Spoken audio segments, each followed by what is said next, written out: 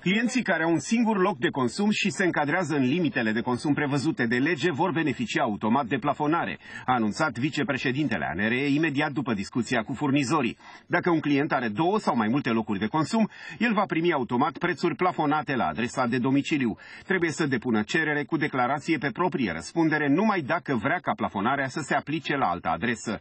ANRE va colabora cu furnizorii pentru a evita situațiile în care unii consumatori ar putea beneficia abuziv de prețuri prețurile minime. După codul numeric personal putem să verificăm dacă un client are contract cu, mai, cu unul sau mai mulți furnizori. Vom identifica aceste cazuri, vom comunica furnizorilor care sunt vizați de aceste situații uh, exact lista clienților care uh, sunt în această situație și furnizorii vor comunica cu clientul că uite știm că ai mai multe locuri de consum și contracte cu alți furnizori, legea prevede că poți să beneficiezi doar pentru un singur loc de consum, te rog într-un termen, nu știu, două săptămâni, o lună, să ne comunici pentru care dintre cele 2, 3, 4, 5 locuri de consum optezi și pentru care dintre furnizori.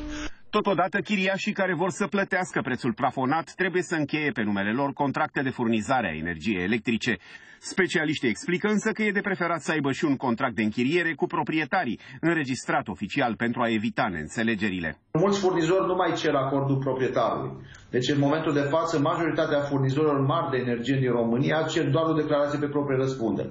Asta înseamnă că, practic, orice chiriaș Uh, orice persoană, dacă vreți să duc un pic la extrem, poate să meargă să încheie un contract pe o declarație pe proprie răspundere. Există posibilitatea ca în situația în care nu ne, chiriașul nu se va înțelege cu proprietarul ulterior să apară anumite probleme, pentru că contractul este închiriat cu altă parte, proprietarul, chiar dacă este proprietar, nu poate să intervine într-un contract încheiat între alte două părți, și de aici pot să apară diverse elemente Potrivit reprezentanților ANRE, singurele categorii de clienți care trebuie să depună cerere cu declarație pe proprie răspundere sunt familiile cu cel puțin trei copii, familiile monoparentale și utilizatorii de aparate medicale electrice.